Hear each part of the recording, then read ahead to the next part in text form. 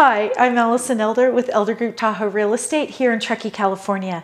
And today I'd like to discuss the market statistics for the beautiful Schaffer's Mill neighborhood for Q3 2022 as compared to Q3 2021. Now you have to remember in this new construction neighborhood, COVID and supply chain has really slowed down the completion and really the starts too of new construction. So the median sales prices dropped from almost 4 million to 2.747. That's really resale product. That's a 31.2% price point decline. But remember again, resale product versus new construction.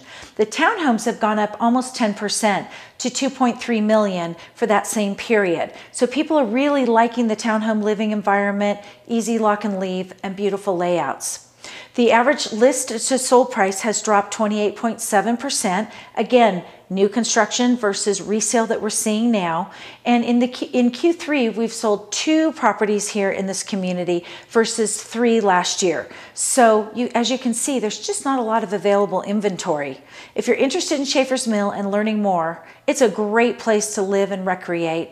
Just click on the link below and contact me, Allison Elder with Elder Group Tahoe. I'm happy to get connected. Thank you.